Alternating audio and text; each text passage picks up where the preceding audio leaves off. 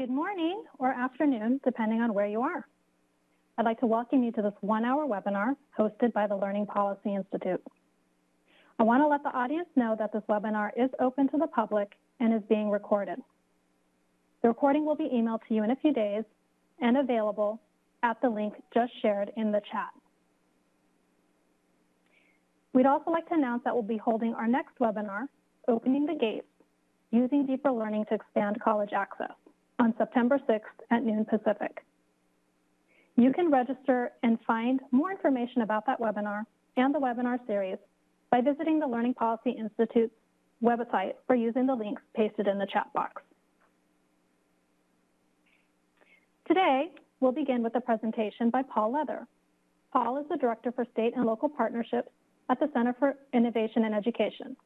He'll be talking about CIE's four state performance assessment project, which supports the design and use of performance-based assessments across multi-district networks, serving large numbers of students from historically disadvantaged communities in California, Colorado, New Hampshire, and Virginia. We'll then hear from Stephen Pruitt, former Commissioner of Education at the Kentucky Department of Education, who will discuss how the State Performance Assessment Learning Community is supporting states across the country in designing and implementing assessment systems that include performance-based components, starting with the subject of science. We'll also hear from Dawn Cope and Ellen Ebert from the Office of the Superintendent of Public Instruction from the state of Washington. Washington is one of state, 27 states involved in the State Performance Assessment Learning Community. Don and Ellen will discuss two major statewide efforts that incorporate performance assessment in ways that engage students in three-dimensional science learning. And then we'll have some time to respond to questions from the audience.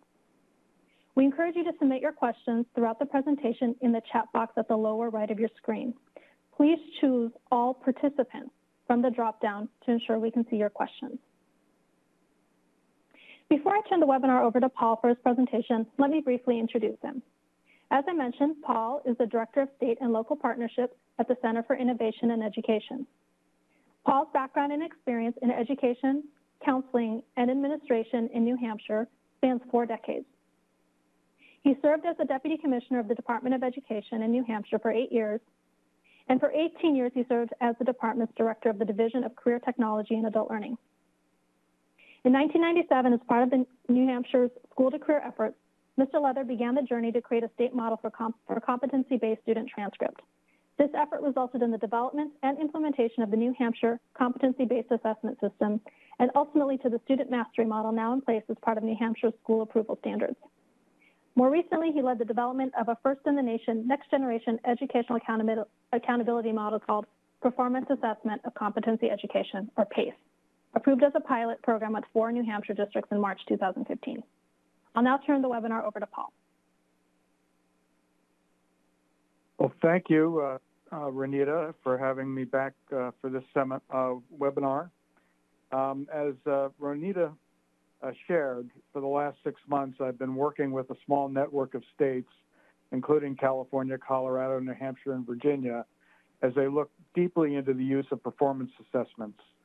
I'm working with the Center for Innovation in Education at the University of Kentucky, where I work with Gene Wilhoit and Linda Pittenger, known for many across the country for their work with CCSSO and the Innovation Lab Network, as well as with Sarah Lench, who heads up the Assessment for Learning project. Next slide. The four state project has a number of goals, including looking at performance assessment models at both the state and local uh, levels, engaging leaders at both levels in the four states, addressing the issues of validity and reliability with performance assessments, and over the longer term, looking to see state and local systems develop deeper learning assessments at both levels of state and local, and also uh, developing an educator workforce prepared to work within such systems. Next slide. Over the last several months, state and intermediary leaders have met and established the work expectations for our learning community, including identifying promising practices with a particular emphasis on equity, being clear on what the research tells us, uh, providing a focus on communications with a number of stakeholders interested in, in uh, state and local assessment, the roles of state education agencies, intermediaries, and local districts and schools, uh, how performance assessments can address career readiness and development, as well as college admissions and placement, and finally, how to scale and sustain these new systems of assessment. So we have a big agenda before us. Next slide, please. Early on, on in my work in New Hampshire, when we were considering how to support emerging competency-based and student-centered practices, several of us considered three cornerstones for building a system, including the need for robust and sustained professional development, the requirement for high technical quality for performance tasks and, and performance assessments, and building leadership and policy support to support the work uh, in the larger community. These have stayed with me over the years, and I have found that attending to each of these concerns in a balanced way has been crucial to our success. Next slide, please. Many of you have seen this assessment continuum developed by Linda Darling Hammond before. We are now seeing all four of the columns towards the deeper learning end are represented in the four states, which shows great movement from even a couple years ago. What continues to be true, however, is that the farther to the left of the columns you go, the more you see those assessments that are used by states for accountability purposes, while the deeper you go to the right uh, of the columns, the more we see assessments used at the local level. And so what we see happening is that schools that are now predominantly using extended performance tasks and student co-designed assessments in their schools are often held accountable by their states by more traditional tests. This, can, this, this disconnect creates some degree of incoherence across the system as these assessments measure different depths of knowledge and student skill. Next slide, please. In the last webinar in this series, I shared this definitional page uh, derived from a paper by Scott Marion and Katie Buckley, pointing out that what we call performance assessment can differ from place to place and from system to system. I wanted to contrast this slide with the next slide today. Next slide, please. There's beginning to be some separation between short and long form performance task models, depending on what network or philosophy is shared by schools. We also see that the model of portfolio defense is really expanding across the nation, spurred by the work of Envision Partners and other national networks and the national influence of the Portrait of a Graduate movement led by EdLeader 21. Also, we are seeing the emergence of digital badging now being adopted in both K-12 and higher education. With dig digital badges seen as performance assessments, we see different processes and methods emerging. For example, badges are often juried primarily by non-educators uh, outside the classroom, specific to skills required for careers. Next slide, please. So when we look at each of the four states individually, what we see is a microcosm of what is happening across the country in many states. An interesting aspect of California is that you have the strong adherence to the Smarter Balanced assessment by the state board and the state uh, education agency. While very uh, significant networks of schools develop, like the California Performance Assessment Collaborative, uh, and we see these emerging locally. CPAC um, also uh, has several performance assessment models at the local level, depending on the school or network. Many have student co-design exhibition and long-term project or capstone models, as well as short-term performance tasks. Of note, you have Summit Schools, also a part of CPAC, which not only look, at cognitive skills, content knowledge, and habits of success, as, as many schools do, but it, as well as something they call sense of purpose as areas for assessment. California, to some degree, solves the problem of multiple systems through its LCAP system, where schools and districts are encouraged to develop multiple indicator dashboards at the local level for accountability purposes with minimal statewide requirements like Smarter Balance in place. Next slide, please. Colorado solves the same dilemma in a different way. They have a state assessment, CMAS, uh, put in place uh, this year based largely on the PARCC assessment. Colorado has also developed a menu for graduation guidelines where schools can select high school assessment models, including local performance assessment systems for graduation purposes. Envision Partners Graduation Portfolio Defense is a prominent model in Colorado high schools. The Colorado Department of Education, as well as the Colorado Education Initiative, also support formative assessment networks. Each district, and in some cases, individual schools, solve the issue of comprehensive assessments differently as long as they take the CMAS in elementary and middle school levels and select from the menu in the guidelines at the high school level. Next slide, please. In yet another model, New Hampshire has developed the PACE pilot, as Roneeta shared with you. PACE is primarily a short duration performance task model that is curriculum embedded. State assessment, the New Hampshire SAS, which looks and feels a lot like Smarter Balanced, is implemented still by a majority of New Hampshire districts in elementary and middle levels, with the SAT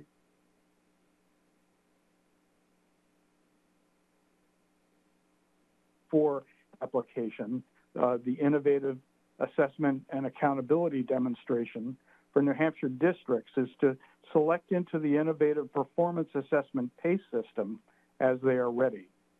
What is notable in New Hampshire is that they are evolving PACE to be more student centered, bringing in aspects of portfolio defense and other student co design assess assessments as we are seeing in other states.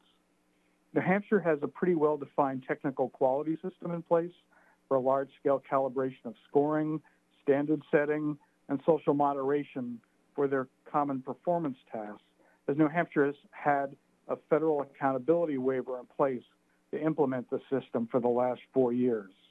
Next slide, please. Virginia is one of the more complex systems where they have a very well defined state assessment and accountability system that has been homegrown over the last 15 to 20 years. Recently, there has been much support to open the system up in certain content areas like social studies and science to allow for locally developed performance assessments. There's broad support uh, within the educational community, the state board, the state education agency, and the legislature for this effort. And the SEA has begun large scale performance assessment protocol training over the last year. The portfolio defense and exhibition system, once again, is very strong in Virginia, this time tied to the state adopted Portrait of a Virginia Graduate. Virginia is addressing technical quality while attempting with Jobs for the Future to maintain and grow public will and support. Next slide, please. Hopefully, you are seeing a theory of action in these states starting to take hold. For change to happen, we start with pr proof points. In many instances, state education agency or national networks supporting early adopter schools and districts, investing in networks of schools to show that deeper systems of assessment can be implemented. The SEA or statewide intermediary then collect and test evidence as well as develop lessons learned and models that work. They reach out to the governing bodies, the state board, the legislature, to build supportive policy and then they look to build out from there. This is how our Center for Innovation in Education recommends that states proceed with the work. Start small, show evidence of progress, evolve the system to support scaling and growth, and improve and innovate all along the way. So thank you, Roneeta. I'm going to stop now and uh, we'll pass it on to Stephen. Thank you. Great. Um, Many thanks, Paul, for your presentation.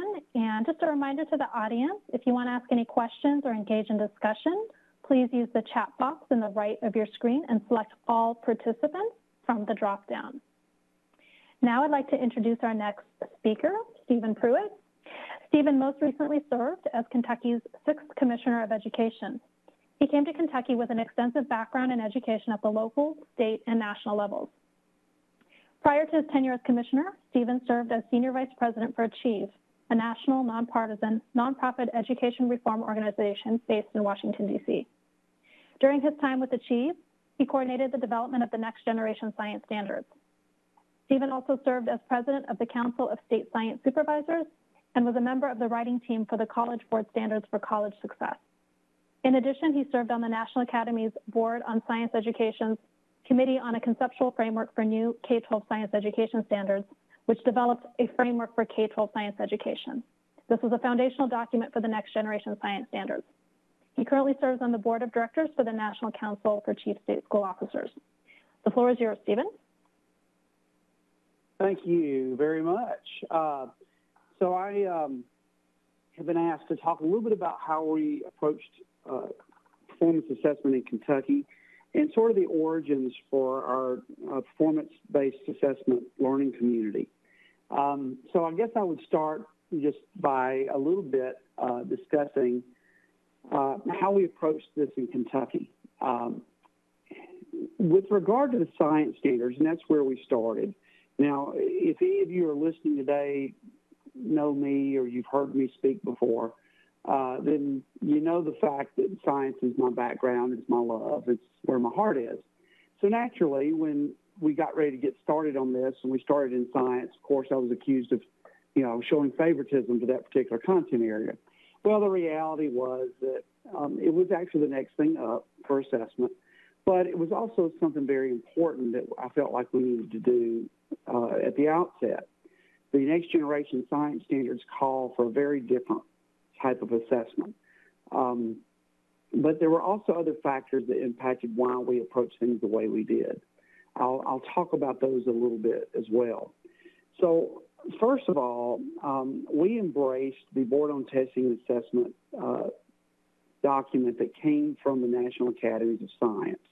Uh, in that document, it calls for a full system of assessments. One of the things you heard Paul mention a lot was systems. So we wanted to create a real system for science assessments in Kentucky. Um, at the root of that, it's building a state assessment that actually, uh, or a state assessment system, I should say, that actually uh, not only um, appreciates but but actually hopefully invigorates um, classroom assessment. Uh, that means that we had to do a whole new approach to how we were approaching our science test at the state level, as well as, as how we were going to build uh, the overall system. As you can imagine, you know, the biggest fear when you do any type of performance assessment is, uh, and Paul even mentioned this, that, you know, well, the state test doesn't look this way. Um, what, you know, we could be setting ourselves up for a problem. Well, you know, first of all, I would say there's plenty of research out there that shows that that's not actually the case. But in the case of Kentucky, we wanted to build a, an overall system that started with classroom assessment. So we, we have a three-legged stool. Um, we talked about uh, classroom embedded assessments. We provided training for teachers on how to do those. Um, if you're familiar with the next generation science standards, you know that we have uh, three dimensions in that science, uh, in those science standards. Uh, we have uh, science and engineering practices, which is sort of how uh, scientists communicate and accumulate knowledge. Disciplinary core ideas, which are really, you know, the stuff. It's the content that you get, and cross-cutting concepts, which are very uh, focused on helping students connect concepts across uh, not just content areas, but but be able to connect it to phenomena that they see and deal with in nature. So it's a very different way of thinking in that you don't test each of those things separately. The idea is to build toward a three-dimensional or evidence of three-dimensional thinking. So we provided training around classroom embedded assessment, which was our first leg of the stool. Our second leg of the stool were developed were state-developed tests uh, that we call through course tasks. Those through course tasks um, were developed by teachers uh, coordinated by the Kentucky Department of Education. And then they were uh, three per grade level that were developed. Um, teachers were, and, and I think this is a really important aspect of this, this was not part of accountability. The idea was let's recognize the importance of instruction. So those first two legs of the stool are really about focused instruction. So the release of um, those items teachers could use them at any point in the year. They could use them for, um, they could even, we even allowed them to change them. The only deal was they had to tell us how they changed them. and each school was asked to, to give one piece of student work um, that that they felt was exemplary toward the use of these through course tasks. We brought teachers in during the summer to do a review of those and to give feedback to the feedback. Um, we had provided uh, a protocol that we ask all schools to do with regard to evaluating this through course tasks. And the groups of teachers that we brought together in the summer basically would go through and evaluate the student work, but also the work of the the folks at the local level. That's not a gotcha, and that's not was not meant to be a hey, you did this right or wrong. It was meant to feedback. It was meant, um, for instance, in some cases when through course tasks were changed, um, we actually gave the feedback that actually when you change it, you lost three dimensions or you lost the intent of, of the task. Um, but more often than not, it was, you know, a real look at a, a deeper dive into how we provide feedback to students. And then the third and final part, uh, of course, is the state assessment. Within the state assessment, one of the things that we recognized early was that, you know, through No Child Left Behind and history since then, um, and I don't blame No Child Left Behind just per se, but but I do believe it started there, and that is that people have been trying to make the state assessment do too much. It, they try to make it do more than what it was really intended or able to do. So, in recognizing that, having this three pronged approach to assessment was critical. But to build the um, trust of our teachers in the field, we also needed a state assessment that could come as close as possible uh, to what was going on in classrooms.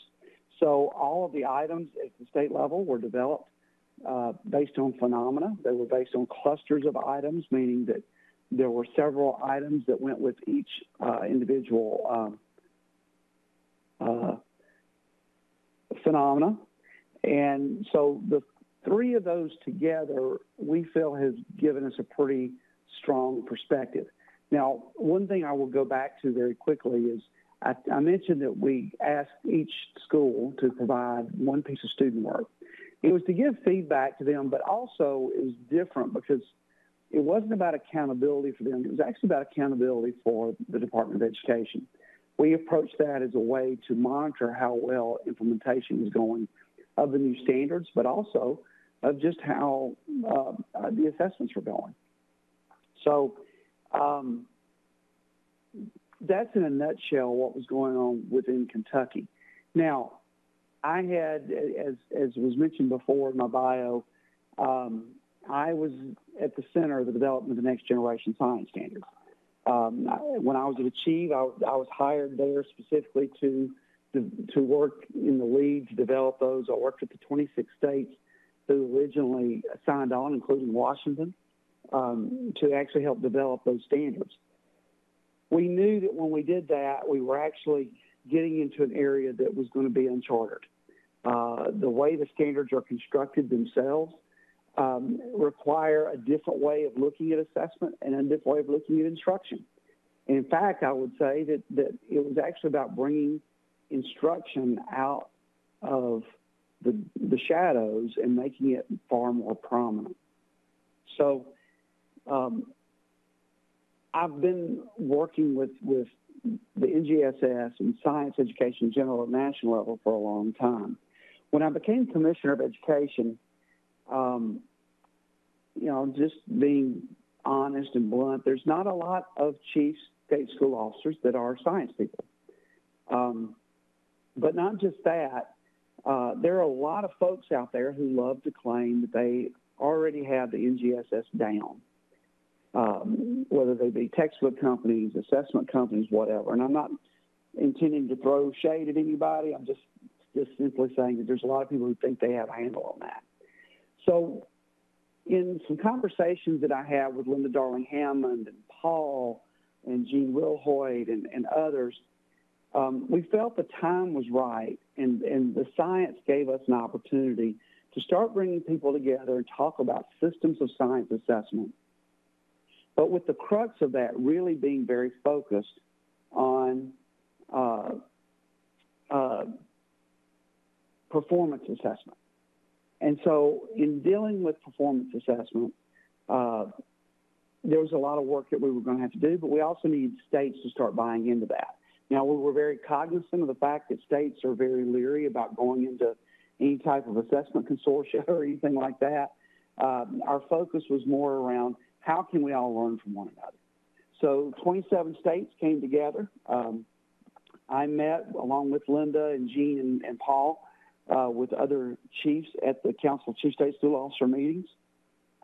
And um, we pitched this idea that, hey, let's all get together and start working toward this idea of, of a learning community around performance assessments, specifically in science. Now, I believe our hope is that we eventually branch out for that. Um, even though I am no longer commissioner in Kentucky, my uh, intent is to continue to work with that project because I believe it has a lot of promise and a lot of hope. Um, so from there, once chiefs started saying, hey, this looks like a good thing, they went back and talked to their staffs. And as we brought people together, uh, we, we had several meetings. We brought people like uh, Dawn and Ellen that you're going to meet in just a moment together to talk about this and where we could go and what could we do. Um, in fact, what we found, I think, is we there's more work than any of us could get our heads around. So we started to really focus on how can we start doing some things together, specifically around the development of classroom performance tasks. So uh, it's been a great opportunity for us. I, I, really believe that it's it's been a um, uh, I believe it's moving the ball down the field. Uh, but the origins of the initiative in and of itself um, are really born out of the fact that we recognize that both the science standards need a different way of approaching science, but also I think there's a greater recognition, regardless of content area, that we've got to get back to a place where classroom instruction and assessment matters, and that assessment shouldn't be a dirty word. Uh, assessment is actually part of good instruction. Um, and helping us get to a place that, that our performance tasks aren't merely predictors of what will happen on the state test, but actually more evidence um, of how well students are attaining knowledge and how well the, the instruction is going. Um, you know, hopefully at some point we'll all reach the place that we recognize that um, the best test prep is good instruction, and with good instruction comes good assessment. So uh, with that, um, I think I'll close down and I will turn it back over, and I believe Dawn and Ellen are next. Great. Thank you so much, Stephen, for your presentation. Um, and just a reminder to ask questions or engage in discussion, please use the chat box on the right of your screen and select all participants from the drop-down. A few of you are selecting all attendees. If you select all attendees, the panelists cannot see your questions. So you need to make sure you are selecting all participants so the panelists can see your questions. Now I'm going to turn it over to our next two presenters. Uh, Dawn Cope is the Science Assessment Lead at the Office of Superintendent of Public Instruction in Washington, where she coordinates the development of the State Summative Science Assessment. Dawn taught high school science in Washington State for 19 years prior to moving to the Superintendent's Office in 2012. Ellen Ebert is the Director of Science in the Learning and Teaching Program at, at the same office. She is past president of the Council of State Science Supervisors She's currently focused on coordinating the implementation of the Washington State Science Learning Standards. I'm going to turn it over to Dawn. Well, thank you, Roneeta. And good afternoon, good morning to all of you out there. Washington State adopted the Next Generation Science Standards in October of 2013. And since then, the learning and teaching team and the science assessment team at our State Department have been facilitating a four-year transition to three-dimensional science instruction and three-dimensional state summative and a three-dimensional state summative assessment. Our two teams have worked very closely together during this transition. We attend each other's meetings, we present at each other's events, and we coordinate our messages to ensure quality and consistency in our work. The implementation of the new standards required the collaboration of various critical stakeholder groups as well as our colleagues and organizations throughout the United States. We've been very fortunate to have access to and the support of these individuals and these organizations. Ellen and I brainstormed a few of these um, organizations to include here as examples, but this is definitely not a complete list. Our involvement with the state performance assessment learning community over the last few months has been very helpful in helping us further our thinking about our state science assessment system, excuse me, and how we can use performance assessments in a, in a variety of different ways within that system. What Ellen and I are going to present to you today are two of the ways that performance assessments are currently being used in Washington State. I'm going to talk about the role of performance assessments on our state summative assessment, uh, which we call the Washington Comprehensive Assessment of Science, uh, also known as WCAS or WCAS, and I'm sure I'll, that's how I'll be referring to it as I speak. And then Ellen is going to talk about the role of performance assessments in a climate science education grant in our state, uh, known as the NGSS and ClimSci Ed. So I will get us started uh, talking about the WCAS. One of our main goals for the state summative assessment is to reflect how science is taught and tested in the classroom. We want to be sure that the WCAS uh, are phenomenon-based and that they reflect student interest and relevance. To that end, uh, like Kentucky, we've included state educators at several steps in our test design and item development. Our educator work groups are very carefully chosen to represent the demographic of our state.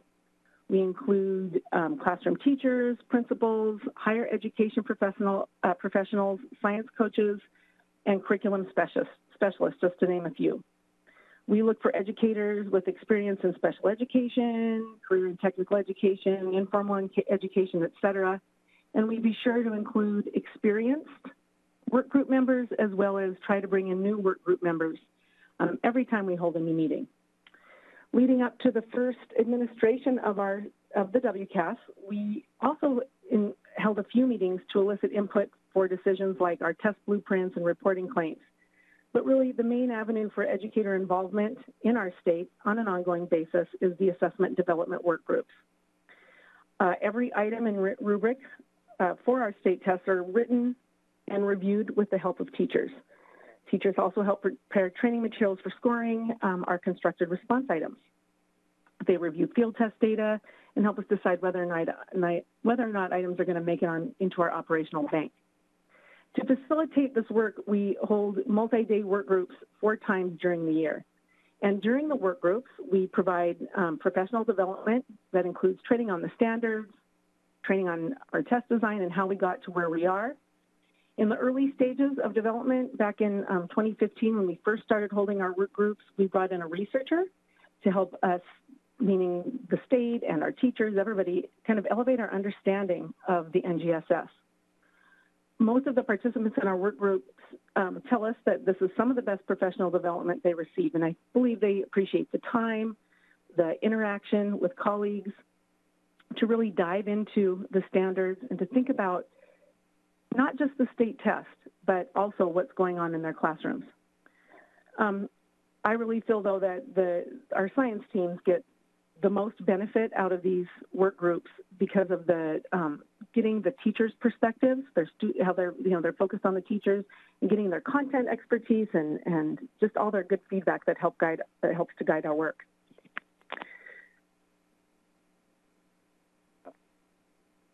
Okay, it's been about four and a half years since Washington adopted the Next Generation Science Standards, and we're really excited that our state test, the WCAS, is being administered in grades 5, 8, and 11 this spring. Uh, whether or not a student is in grade 5, 8, or 11, when they take the WCAS, they're going to experience a comprehensive test that is composed mainly of item clusters, which is what we're considering performance assessments or performance tasks uh, for this presentation. And those performance tasks will require the students to use practices, core ideas, and cross-cutting concepts to explain science phenomena. And they'll experience life science focused uh, clusters, physical science, earth and space science, and engineering is thrown in there at various places.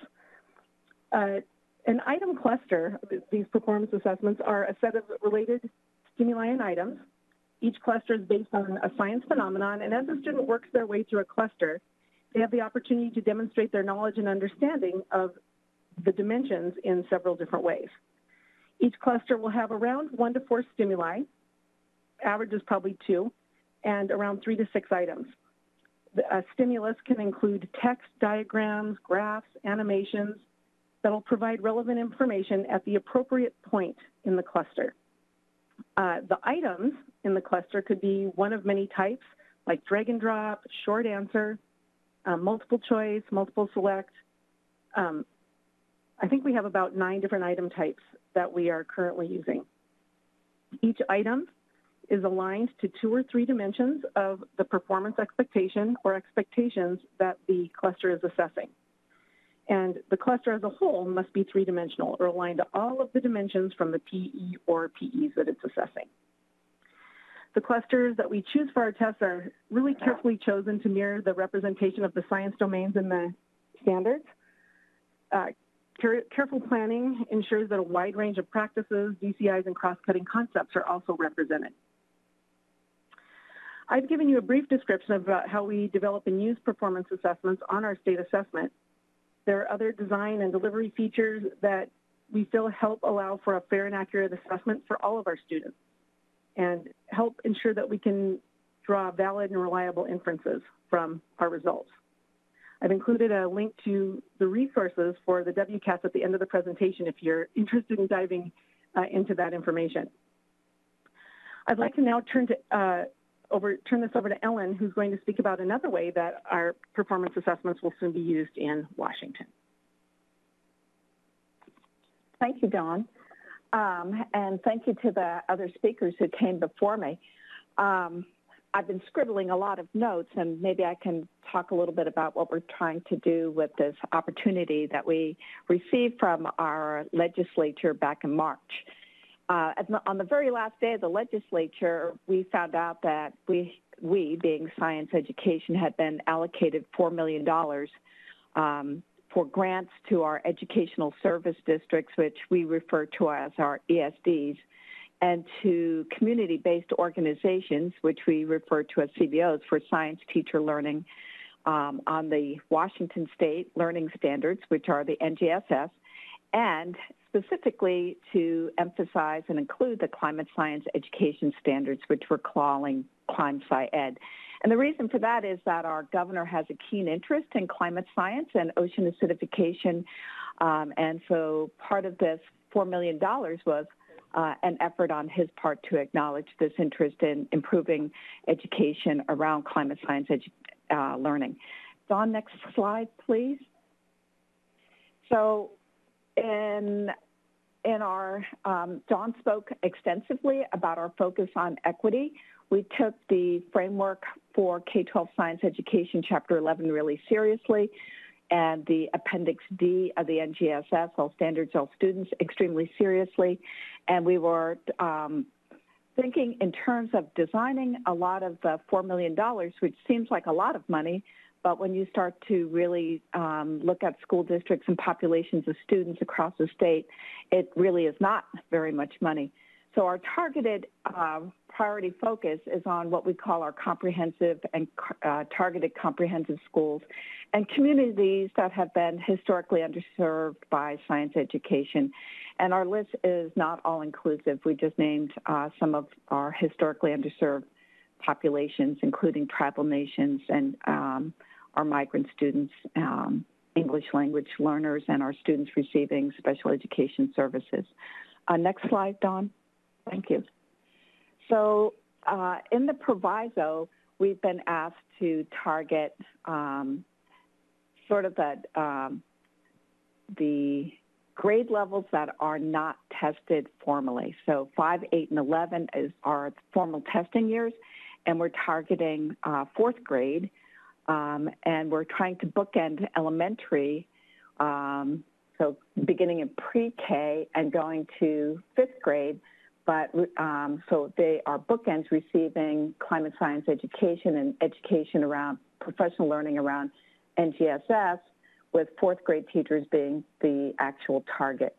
Um, at middle school and high school, we're targeting uh, teams of teachers and specifically at high school, we're trying to target grade 11 teachers, so teachers who historically did not have to uh, uh, support students for the biology end of course, which was offered in 10th grade. So we're trying to target our um, chemistry and physics and current tech teachers, et cetera. Next slide. Thank you. And so we've listed some of our outcomes here. Uh, we have a lot. We have about seven pages of outcomes that we are really uh, trying to zero in on. But importantly, in bold, you'll see that we acknowledge that we don't have a classroom system of assessments. And we've had, Dawn and I have had many conversations with our leadership to try and allocate funding so that we could do that. That didn't happen for us when we, we made our request. Um, but we see that with uh, this proviso money that we have an opportunity to begin in kindergarten and tell the story of the kindergarten student as they progress from kindergarten to first grade, second grade, third grade, fourth grade, and then summative in fifth grade.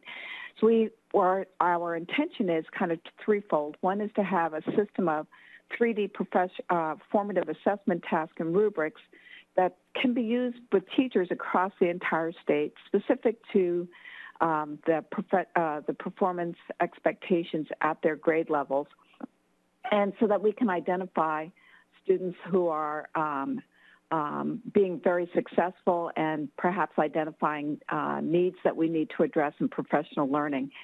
Um, so that's one piece. The second piece is that teachers have also asked us not only to have these common items that are equally shared across the state, but then to have very much place-based that are specific to their local communities and to develop that type of 3D assessment. So that's the second level.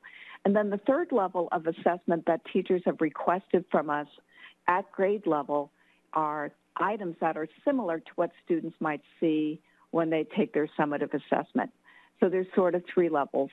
Um, and we haven't, that we're building this plane as we're flying.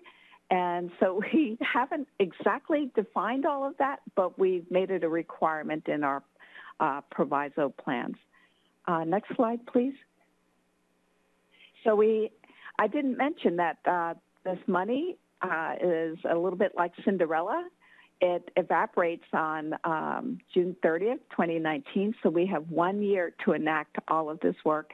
It's a very ambitious timeline. Um, a lot of very nervous people, but very excited folks here in the state to try and do the work. Um, I think that you'll see that um, we will we'll be back to talk to you in a year and, and let you know how things are going. Um, Dawn, do you want to go to the next slide? And I think that uh, one thing that I will say that Dawn and I really took the equity conversation seriously, and in the training. So this is my compliment to Dawn and my assessment colleagues in Washington. So we took this idea about equity in assessment, not just in the, the learning aspect of the classroom, but also to the summative assessments. And I feel that they these this collaboration has improved the work that we've been doing. Our teachers are better are um, better writers of items, and I think our students are hopefully going to show us that they appreciate um, student interest and relevance um, speaking to them through their assessment as well. Dawn, do you want to close us out? Thank you, Ellen. Uh, I completely agree with your with your the last few sentiments that um, our working together uh, is hopefully really going to pay off as we move forward. We've included a few of a few links for you at the end of our section of this um, webinar if you are interested in pursuing any of the things we've uh, talked about further. And that's it for Washington State. Thank you. Great. Uh, thank you so much, Dawn and Ellen, for your presentation. Um, now I'd like to begin our discussion and address some of the questions we've received from the audience. There are quite a few, and so if you don't get your question answered today, please do feel free to follow up by email um, with the with the panelists directly. And so um, I'm going to start with a question from Emily uh, to Paul. Um, she asked, can you talk more about the tension between accountability versus assessment for deeper learning in the four states you're working with?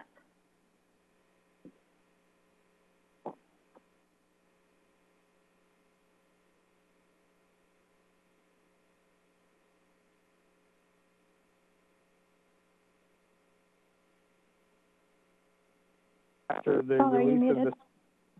Oh, Polly, I think you were Oh. muted. Oh, for heaven's sakes, okay. Am I still muted? Nope, you're good. Okay. Um, so uh, I think I addressed this to some degree in my presentation, but uh, let me just say that uh, even when I was still at the Department of Education in New Hampshire uh, as deputy commissioner, often I would go out after the release of the state assessment to local school boards as they presented the information around accountability. And one of the things that we saw was that uh, uh, time after time, superintendents and curriculum directors would present an array of data, including local assessments, classroom assessments, and assessments uh, related to the class, uh, to what was going on in their curriculum. And, and then at the very end, they would say, oh, no, here is the state data. And uh, they really valued, and their state, their uh, local school boards really valued the results uh, from their more uh, locally developed assessment systems. So we ended up having uh, two levels of, of accountability systems that that really did not uh, line up with one another.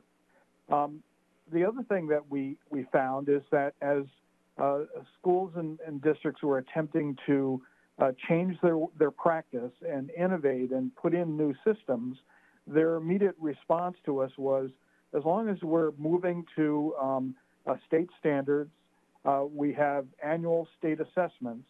The impact of our of the the stakes involved with those uh, uh, assessments and uh, uh, uh, standards is that it, it forces us to focus on the test, to really prepare our students for taking the test. we see a narrowing of our curriculum, and we see really an emphasis on uh, lower levels of depth of knowledge as opposed to deeper involvement in hands-on projects and uh, engagement with rich, deep learning. So for these variety of factors, we, we, we really saw that we needed to change our accountability system. And so PACE was really designed as a, a curriculum embedded performance assessment system to address just that, that issue. As, as um, I've looked since uh, I've taken on this new role at the three other states, I see that that um, there are various uh, approaches that are taken uh, through the accountability lens, if you will, to to try to uh, address this issue. So, as I mentioned, California uh, has their their multiple um, assessment, local uh, uh, assessment and, and, accountability model that they put in place through through legislation, and is supported by both the legislature and the state board. Um, and then both Colorado and Virginia are trying to have a comprehensive system where they have both kinds of assessments as part of a system of, of, of assessments. State level assessments to check just to make sure that students are learning basically, but on top of that, they want to see how well their curriculum and instruction is doing, and for that, they rely more on their curriculum embedded in their their uh, uh, performance assessments. So, so you know, it is a it is a balancing act, and we're seeing that um, uh, that probably over time there's going to be much more emphasis on classroom assessment at the center of systems of assessment and accountability. Great, thank you. Um, there's a question from Melissa, and it's uh, directed towards Stephen. Uh, she'd like to know what uh, professional development does Kentucky provide to teachers to develop items and tasks, and how are teachers selected uh, for work groups and task development? Great question. Um, so one of the things that we, uh, I guess I'll start with, you know, how people were selected. So in the first year, um, the very first year, going back years to where NGSS was actually adopted, um, the Kentucky Department of Education started performing uh, training around the state. So in that initial year when we started developing assessments, we chose from the folks who had actually gone through those initial trainings. Um, the idea, though, is we found it to be very difficult. Um, not because people weren't capable, it was simply a matter of developing assessments is not something that's easily done. Um, and it's not a skill that's really uh, uh, developed in our pre service or even in actual service often. So what we did was we basically created a, a, a cadre of people to help us with that first round. Um, and what we learned in that was some, so the way we develop all of our assessments, whether they're through course or our state assessments, or we use storylines. So we write a storyline that depicts in the storyline what skills and knowledge we're trying to actually elicit from the student. And then we write the items. And we found where some people were really good at storylines and some people were really good at writing items. And then there were some that were good at both. Um, but what we realized is part of the role of KDE was to put people in the right seats on the bus, so to speak. So the idea was that we started with that initial group. Um, we spent a lot of time uh, both going through NGSS itself, uh, going through the BOTA report, um, but then also really spending a lot of time deep diving into how to write these items. We allowed them to spend time doing peer review. We gave feedback. Um, you know, it's probably a little creepy for some of our teachers that the commissioner of education was actually reading them and giving feedback to. Um, and uh, we just developed a good learning community among those groups. The idea then was that we would re- basically replace a third each year. So you kept two thirds of the people who have done it enough that they are have become experts, and each year you add a new third, and that new third comes from um, people who have applied to be a part of it, uh, people who in our work we had come across. Um, there's a, a, pretty big range of ways p- teachers can be involved because there's the actual development, then there's also review of the items, there's bias review. So we end up with a lot of teachers really involved over the whole uh, stretch of the, of the process. Um, but the reason why we replace the third every year is one, to keep fresh eyes uh, on the items each year, but also to allow the third that worked on it to be to become really good ambassadors, and they actually can play a role in helping in their districts with PD themselves and and that sort of thing. Um, so yeah, it was a um, pretty extensive process, uh, and I think it was pretty tough on some folks. Uh, basically, I told, um, and I mentioned this in the chat box if you didn't see it. Even in our state assessment, our teachers wrote every item. Um, basically, our testing vendor was put on notice that their job was to do whatever the teachers gave them and turn them into tests, but they couldn't, you know, rewrite them. Um, and so it was a little bit different paradigm from where we had been historically. Uh, but I, but I'm actually really proud of the items they wrote. But um, your question about PD, um, it was it was pretty massive. There's no really other way to say it. Um, but it was designed to be not just them sitting and getting, but actually them doing item reviews, them doing item development, and then putting them into learning communities where they were providing peer review to each other. Great. Thanks so much, Stephen. Um, we just have a couple more minutes. Um, I'm going to have one more question um, that we'll have to answer quickly. Uh, there's a comment here about how um, enthusiastic teachers out, uh, can apply these ideas given policy barriers. So I'm wondering if perhaps our friends from Washington State can talk about the political and policy context that supported the work you've discussed and who the major uh, or key stakeholders were uh, that were sort of bought in and allowed this, the work you're doing in science to develop.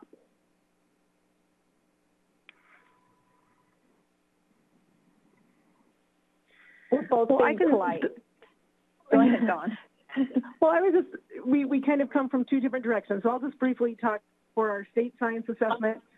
I believe that we've had a lot of support from our state legislature, from um, our agency in doing the work that we do. Um, being able to bring in teachers uh, as a major factor in how we develop our state assessments, giving us the time, the money, and the support to do that has been has been um, you know very helpful. Um, so from my and, and this has been traditional in Washington State really since we started our state assessment. We've had lots of transitions over the years whether it was because of new standards or because somebody wanted to shorten the test or lengthen the test or make it a graduation requirement or whatever. The the feeling at the moment was um, I feel like we've been able to do the work that we've wanted to do. Uh, Ellen, did you want to answer from your perspective? So, in addition, Dawn, to what you just mentioned, I would say on Mhm. my side, we've worked hard to build networks over the last several years. Uh, when I went, when I came to Washington, uh, there were several networks that pre-existed. We have uh, a network of science fellows. That's about 350 teachers across the state. So they're a very powerful group um, that are teacher leaders. Um, we've had community-based organizations that have been wonderful partners for us, federal agencies, uh, state agencies, uh, research institutions, uh, the tech people. Um, we've worked together really closely, so it um, it was great that our policymakers were able to support us, and and now we're actually activating those networks, trying to do the to, to do this quick work for one year. Great. Um, so unfortunately, we have to wrap up, and I know we could we have many more questions. So again, do feel free to follow up with the, the panelists afterwards. Uh, many thanks to Paul, Stephen, Dawn, and Ellen for such a great discussion today. I'd like to remind the audience that we are recording this webinar, and we will email you in a few days when it's available. We'd also like to invite you to join us for the next webinar in the series, Opening the Gates using deeper learning to expand college access. That will take place on September 6th at noon Pacific. You can register and find more information about that webinar using the links pasted in the chat box. This webinar is part of a series called Achieving Equity Through Deeper Learning, and we'll be having additional webinars throughout the year. We'll send notifications by email if you'd like to sign up for our email list. And finally, we'd like to share the following online resources, which will also be posted on this webinar's page. Thank you for your time and have a good afternoon.